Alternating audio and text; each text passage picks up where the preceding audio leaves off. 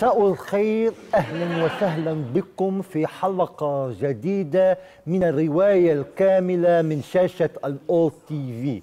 يسرنا في هذه الحلقة أن نستقبل فخامة الرئيس الأسبق للجمهورية اللبنانية العماد إيميل لحود. مساء الخير فخامة الرئيس.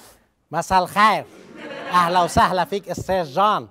شرفت أستاذ جان عزيز وعزيز من دون وقوف آه، شكرا فخامة الرئيس. وسهلا.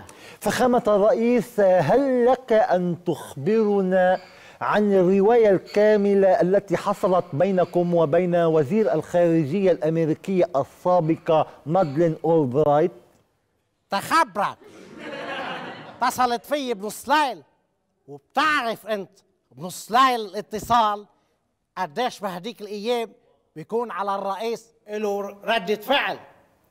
صار قلبي يعمل هيك. لما دق التليفون طلعت مالدرين اولبرايت مثل العادة. تملي علينا قرار ولا قرار.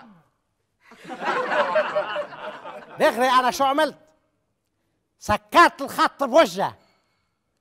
ساعة تبعت لي مساجات. I love you. لا. والأحلى من هيك I need you.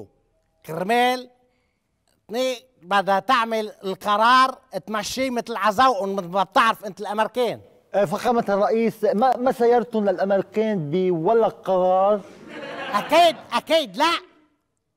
أنت بتعرف إيميل لحود بوقت ما كان رئيس؟ مستطيع. حدا يقدر يغلبط معه بأي قرار؟ آه، شكرا فخامة الرئيس. هل من كلمة أخيرة فخامة الرئيس؟ حب أقول بهالمناسبة شغله للشعب اللبناني وللدوله إنه هالقرارات اللي عم تملى علينا هيدي قرار ولا قرار لازم توقف ونخلينا ايد واحد ويكون القرار داخلي. لكن بأكد لكم وبقول للشعب انه طالما الشعب والمقاومة ايد وحدة ما حدا بيقدر يخرقه. شكرا أستاذ جار آه، شكرا فخامة الرئيس. في الحلقة القادمة من الرواية الكاملة سيخبرنا فخامة الرئيس إيميل لحود عن الخلاف الذي حصل بينه وبين آه، الرئيس الأمريكي السابق بيل كلينتون. شرفت. شكرا فخامة الرئيس. أهلا وسهلا شرفت.